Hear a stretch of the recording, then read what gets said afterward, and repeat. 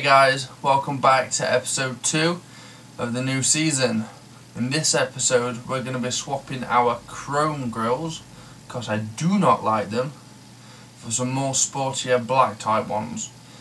So let's get on and let's get them fitted. To change these grills today, we're going to want your new replacement grills, some screwdrivers or panel removing, removal tools, and a Torx set. I mean, different grills have different need different things, but this one needs some Torx. And we're going to trust the word of the internet of how to remove these grills. Start by lifting the bonnet and locating the four Torx screws.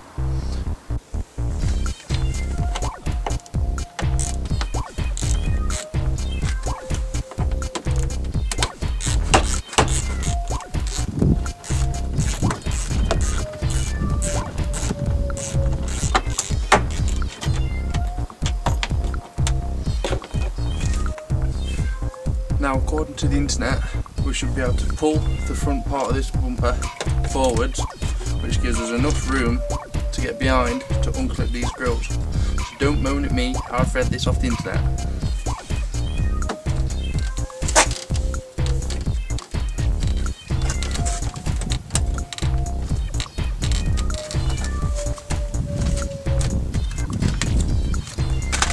Using your flat blade get our new one here. There's these big plastic tabs. You can just see here. You need to press these tabs in on the old one so you can pull, pull out the grill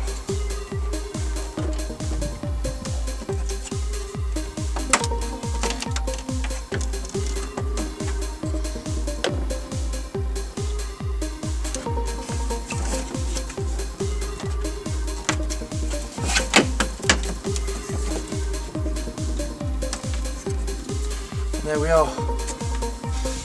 There's the grill. Ow. Nice big snorting hole.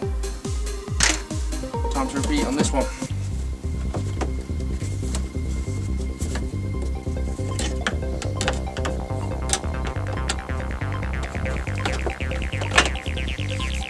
And there we are. There's number two out.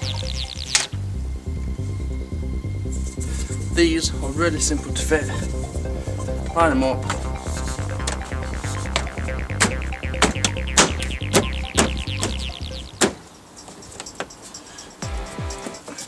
Make sure all the clips clip into place.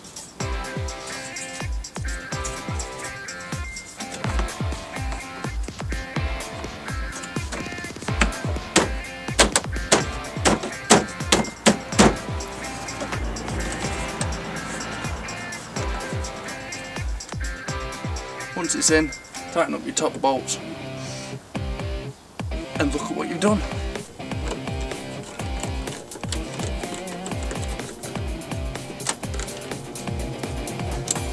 And there we are. That's it, they're fitted and they look a lot better. They make the car look a lot more aggressive I think. Better than this chrome rubbish that was on before. So that's it for this episode. We'll see you in the next episode where we're painting the bottom chrome grills.